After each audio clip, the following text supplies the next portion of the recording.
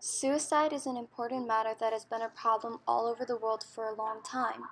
Suicide is the second leading cause to death for teens. Almost one out of six teens consider committing suicide seriously, while one in 12 teens will actually try to commit suicide.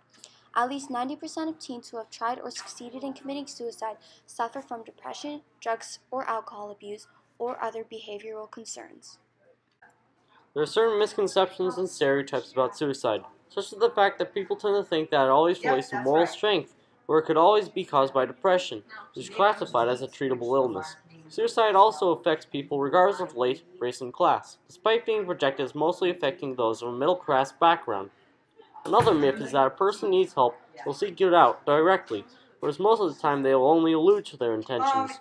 Certain causes of suicide can be depression, which is where an individual will lose interest in life and experience persistent episodes of sadness as well as schizophrenia, bipolar disorder, anxiety, and personality disorders that cause people to be isolated from help and support. If someone is seriously considering suicide, there are people they can reach out to, such as the principal, the school counselor, a teacher, the wellness center, or guidance counselor.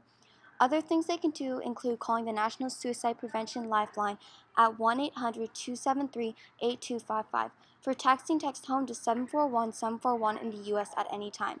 They can also visit https semicolon slash slash www.christlinetext.org.